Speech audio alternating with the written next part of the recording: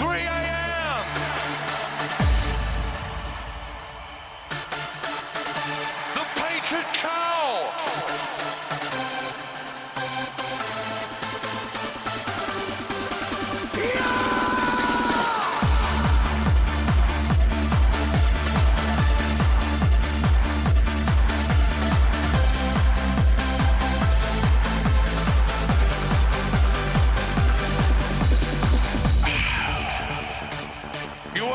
us now.